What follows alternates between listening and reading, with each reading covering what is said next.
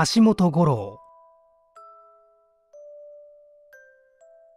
レテーロ・エンラ・カーボ。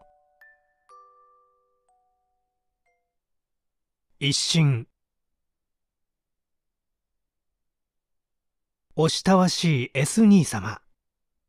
お手紙嬉しく嬉しく拝見いたしました。なんという私は幸福なものでございましょう。M 子様からいいものよと兄様の温かいお心を込めたお手紙をいただきましたとき寂しい乙女の胸はどんなにか恥ずかしく波打ったことでございましょう。お察しくださいませ。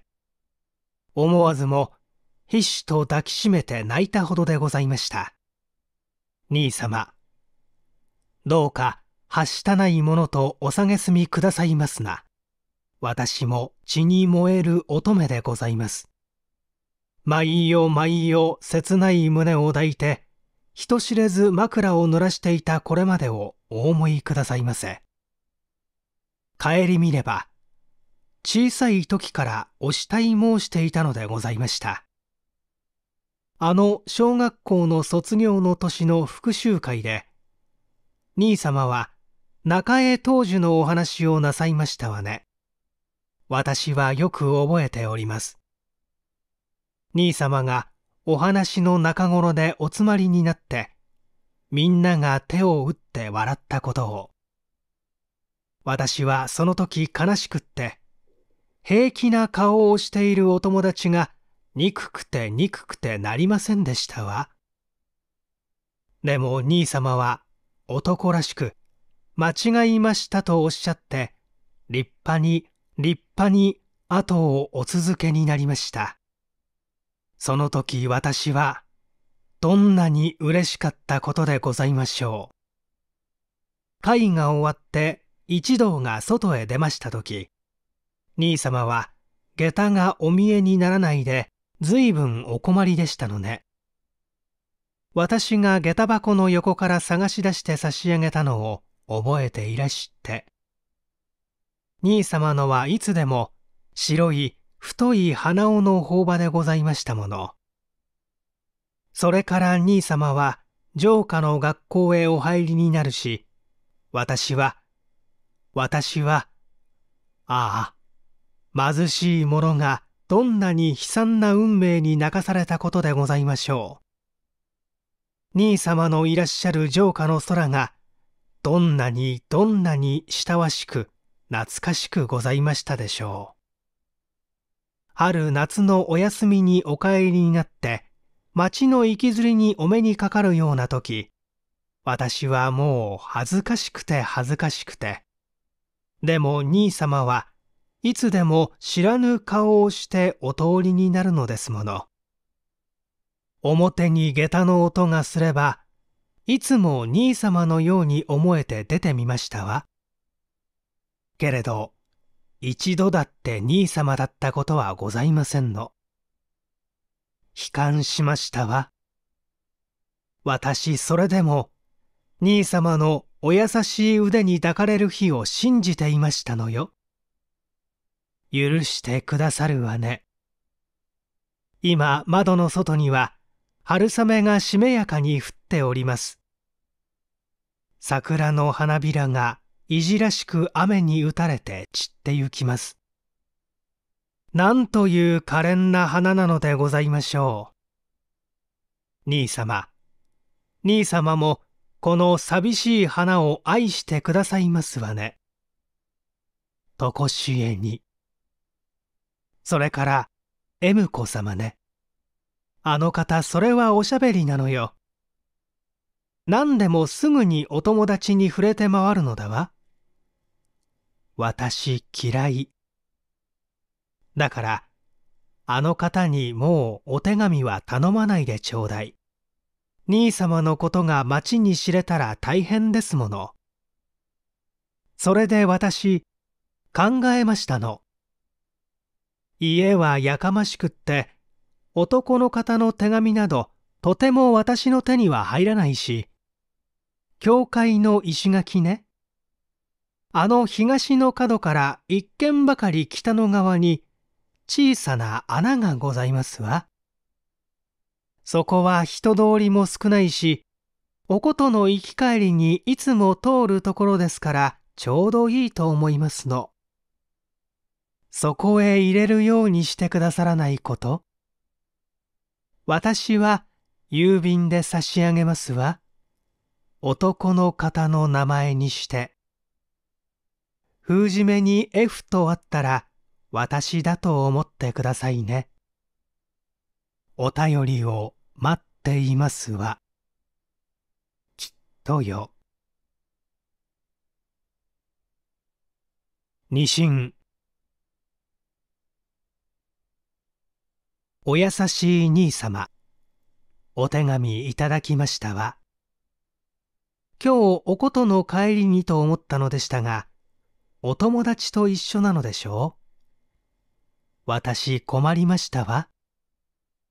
それで町へお使いに出ましたとき、回り道をしていただいてきましたの。でも誰かが見ているようで、すぐには穴のところへ行けませんでしたわ。それで、お包みを直すような風をして、そっと取り出してまいりましたの。帰ってからもすぐに開封するのが惜しまれて、床に入ってからそっと拝見しましたのよ。まあ私どうしたのでしょう。お乳のあたりが苦しくなってくるのですもの。長い間しっかりと胸に抱いておりましたわ。幾度も幾度もキスして読みましたのよ。ええ。昨日は時計屋の前でお会いしましたのね。私、どんなに嬉しかったか知れないわ。でも兄様は、私がまるで知らない人のように笑顔一つ見せないで行ってしまったとおっしゃるのね。私悲しくなるわ。だって人前なのですもの。それにお昼のことですもの。みんな見ていますわ。あれが夜で誰もいないところでしたら、ああ、私どうしましょう。きっと兄様のお手に抱かれて泣いていたのに違いありませんわ。考えると私、たまらなくなりますわ。兄様、お許しくださいね。私、こんな恥ずかしいことを書いて。でも、お許しくださるわね。それは私だってお会いしたいわ。兄様と二人きりでお話ししたいのは山々だわ。誰にも言わないけれど、兄様を愛していることは、兄様が私を思っていてくださるお心にも負けないことよ。でも私、出られないんですもの。お使いに行くのはいつもお昼ですよ。おことだってお友達と一緒でなくちゃいけないのですもの。まして兄様のお家へなどとどうして行けましょう。私困ってしまうわ。でもね、兄様。近いうちにお会いできるかもしれないわ。祖母が良くないので、母が里へ参りますの。父にはお友達のところへ行くと言って出ますわ。けれど私恥ずかしいわ。だって兄様は男なんですもの。でも嬉しいわね。とうとうおそばに行けるようになったんですもの。私なんだか夢のようだわ。だけどわからないのよ。どんな具合で祖母が良くなるかもしれないから。それでね、兄様。いよいよの日が分かったらお知らせしますわ。だから待っててちょうだいね。きっと私、うまくゆくと思うわ。三振兄様、なんという嬉しいことでしょう。あさっての朝、母は里へ参りますの。帰るのは祖母の様子次第ですから、いつともわかりません。けれど、一泊もしないで帰るなんてことは絶対にないと思いますわ。だから夜、そうね、7時頃からだったら行けますわ。兄様のおっしゃるとこ大丈夫？でも構いはしないわ。私、元気を出して行くわよ。兄様も早く来ていてちょうだい。ああ、早くあさってが来ればいいので。私なんだか気になるわ。兄様、冷やかしちゃ嫌よ。私、お化粧がまずいんですもの。ではね、兄様。7時ごろに行きますからね。時間を間違えては嫌よ。7時ですよ。四神小意識兄上様。私、何と言ってお詫びしてよいかわかりません。お許しくださいね。あの日、夕方になって母が帰ってきてしまったのですもの。私、それは困ったのよ。だって、もうお風呂も済ましてちゃんと用意していたんですもの。でも、兄様が待っていてくださるのだと思うと、私どうかして行きたいと思って、お友達のうちで蓄音機の会がある、なんて言ってみたのだけれど、ダメだったわ。母が帰ったのは、祖母がいいのではないんですもの。母はすっかり用意をしてゆくために一時帰ったようなわけなんだわ。それで、都合によれば私も行かねばならないかもしれないのよ。兄様、私本当にすみませんでしたわ。母の用事をしながら幾度時計を眺めたか知れないことよ。七時を打った時の私の心持ちを、どうかして兄様に見ていただきたいと思うわ。私、それは苦しかったわ。兄様は3時間も待ってくださったんですってね。私、何と言ってお詫びしたらいいのでしょう。お許しくださいね。あの暗い中で兄様が寂しく寂しく私を待っていてくださったのだと思うと、私、どんなにしても一度会ってお詫びせねば申し訳がないわ。それから、兄様の悪行を言った人って誰でしょうあそこは兄様と私より他に誰も知っているはずはないのですものね。戸口から覗いて兄様の悪行を言うなんて。それも二度も三度もそんな不都合なことをするなんて憎らしいわね。私が言っていたら怒鳴り返してやるんだったわ。みんな私が悪いのだわ。兄様、さぞお悔しかったでしょうね。許してくださいね。本当に許してね。僕はどんなに寂しかったか、って兄様はおっしゃるのね。私、あそこを読んで泣いたわ。兄様のお手紙を見ていると、私もう死んでもいいとさえ思うのよ。兄様のそばで暮らすことができたら、ああ、私はどんなに幸福でしょう。お優しい兄様ね。私、近頃は毎夜のように兄様のお夢を見るわ。兄様の膝にもたれて泣いていたり、時には兄様に叱られて泣いたりもするのだわ。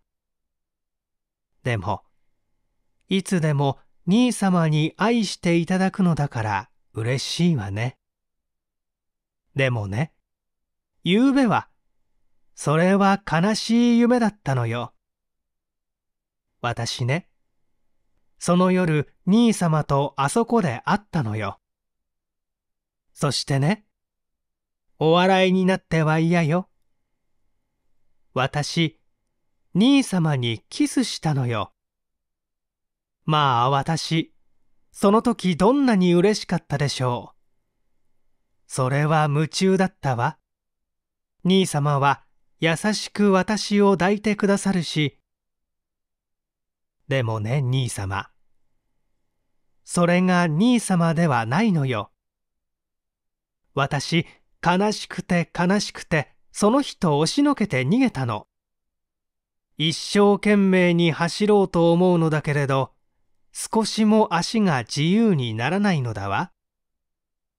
でも、やっとあの教会の石垣のところまで来ると、まあどんなに嬉しかったでしょう。兄様が立派な軍人の姿で立っていらっしゃるではありませんか。私、兄様にすがりついたわ。ところが、その方も兄様ではなかったのよ。ええ。私の一番嫌いな人よ。私、はっとしたでしょ？う。その人は構わずに私をどこかへ連れて行こうとするんだわ。私、声を立てようとするのだけれど、どうしても声が出ないのよ。私、もがいたわ。帯なんか溶けてしまったのよ。ところへね、あそこから兄様が追っかけてきてくださったんでしょ？私、助かったわ。ええ、そこでひどい喧嘩になったの。相手は、この女は僕の妻だ。もう婚約が済んでいるのだからって言うし、兄様は本人の承諾がないものをどうするかって、それは見ていても恐ろしかったわ。そしてね、とうとう格闘になって、兄様が負けておしまいになったのよ。私、そこで目が覚めたのだわ。その後のことは、あんまり悲しくってお話できませんわ。夢だったからよかったようなものの、本当だったら私どうなっているか知れないわ。こうして兄様にお手紙を書くこともできないんだわ。それを思うと私、じっとしてはいられないような気になるのよ。実はね、兄様。お気を悪くしないでくださいね。私、この頃方々から縁談があるのだわ。それは母なんかやかましく言うんですもの。でも私、何とか言っては断っているのよ。ねえ、兄様。兄様がいらっしゃるのに、なんで私が他の人と結婚なんかするもんですか？私は兄様のものですものね。永久に。私、もう兄様一人が頼りなんですもの。ねえ、兄様早く。ねね私、もうよすわ。とても思うことは書けないわ。察してくださるわね。あ、それから私、里へ行かないで済めば、今度こそはどんなことがあっても兄様のところへ参りますわ。いずれ確かなことをお知らせしますけれど、兄様もお手紙くださいませ。あのこと、本当にお許しくださいね。では、私の兄様、今夜も楽しい夢であってくださいませ。ご神恋しき恋しき兄上様。私どうしたらよいのでございましょう。兄様は僕と結婚してくれっておっしゃるけれど、ええ、私だってそれは恥ずかしいけれど、兄様のところへは行きたいわ。今すぐにでもお嫁になりたいわ。兄様のところへ行きたくて行きたくて、いつも兄様と二人きりの楽しい食事などを想像していることよ。でも私、こんなこと父や母には言えないわ。それどころか父や母はこの間からの縁談をしつこく進めるんでしょ私、それは随分とわがままを言っているのですけれど、父母の話を聞いていると、知らず知らずの間にどうしてもそこへお嫁に行かねばならぬような気持ちになってしまうのよ。それでね、兄様。私、父に聞いてみたんですの。他のところへは行けないんですかって。ええ、私、一生に一度のことですものね。元気を出したのですわ。そしたらね、父はどこか心当たりがあるのかって聞くんでしょ私、よほど兄様のことを話そうかと思ったのよ。けれど、どうしても言えないのよ。恥ずかしいんですもの。それで、それでとうとう心当たりなんかないって言ってしまったの。ですけれど、今考えると、なぜあの時言っておかなかったかと残念でたまらないわ。私、兄様以外の方と一緒になるのは死んでも嫌。どんなことがあってもお嫁になど行かないわ。私、いつまででも、兄様からのお使いの見えるまで待っていますわ。だけど、急に兄様が父母の方へお話になってもダメよ。私、まだすっかり支度ができていないんですもの。兄様は外国人ともお話ができるし、私は何も知らないんですもの。それは兄様は心配しなくともいいっておっしゃってるけれど、兄様の奥様がお笑いになっては嫌よ。兄様のお友達などに挨拶一つできないでは情けないわ。だから私勉強するんだわ。それまで兄様は待ってくださるわね。そしてお迎えに来てくださるわね。私、それを楽しみにして一生懸命に勉強しますわ。だけど、兄様がその間に、私心配だわ。男の方ってすぐに気が変わるのですもの。でも兄様は私を愛してくださるわね。二人で堅実な家庭を作りましょうね。私それを思うと勇気が出るわ。家庭ではそれは辛いこともあるのよ。けれどもそんなこと少しも苦にならなくてよ。兄様は私の心だわ。命だわ。私、兄様を思うと、どんな悲しい、どんな辛いことにも打ち勝ってゆけるわ？兄様、兄様をあなたと呼ぶ日の来ることを信じて、苦しい毎日を忍んでいる哀れな乙女のあることを考えてくださいませ。どんなにかその乙女が、兄様の温かい御手に抱かれる時を待ちあぐんでいるでございましょう。ああ、早く兄様のおそばへ行きたい。兄様、私、もうどうなっても構わないことよ。早くね。ね。六神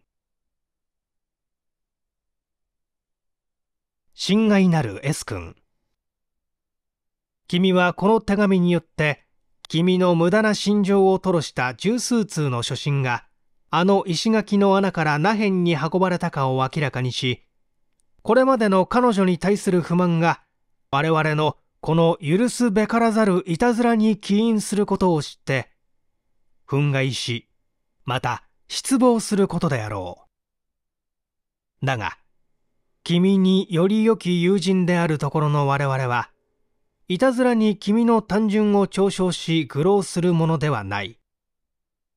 君は我々に対してある種の感情を辞する前に、一通り我々の親切に考えねばならない。あの手紙によれば、君は明らかに彼女を恋している。真面目に恋している。そしてついには結婚をさえ迫っている。だが君は、彼女の何を、それをいかにして恋したか。もちろん恋は結婚ではない。相手の家庭を吟味し、その一族を調査し、さらに本人の性質素行に及んで初めてことを云々するものではあるまい。しかし君、すでにこれまで幾人の男に接し、しかも現在その陥落の報酬を比して、さらに優位な青年を物色しつつある女の、そのいずこによって、君は各恋したか。無論彼女は君のあの手紙の一通だにも見てはいない。だが、もし君が F なる人間によって示された数々の言葉が事実彼女においてなされたならば、君はどれほどの地位と名誉を損失し、さらに貴重な生命を浪費したであろうか。その適齢は我々にある。我々は彼女一人のために、皆高価な青春を損傷されたものだ。S 君。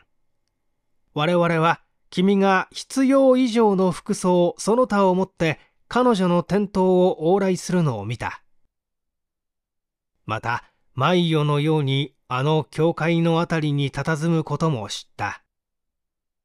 そして我々の一人はその興味に耐え得ないで、君をあの製材所の闇に立たしめ、長い時間に会議と石爆を与えた。この点は審査しなければならない。だが我々は、ここにおいて、書くまでに君を真実ならしめたあの数通の手紙の筆者を、その夫人の君に対する心情を語らねばならない。君はあの手紙が、あの優しい文字が、我々武骨流の手になったものとは受け取れまい。そこには、君を思うのあまり、我々の恋を入れて苦しい筆を取った女性がいる。誰と思うか。我々はあえてそれを言うまい。だが、君が彼女に宛てた最初の手紙がいかなる人によっていかに処置せられたかを考えるならば、自ら克服できることであろう。その女性の苦しい胸中こそ、君の最後の手紙が安住すべき地ではなかろうか。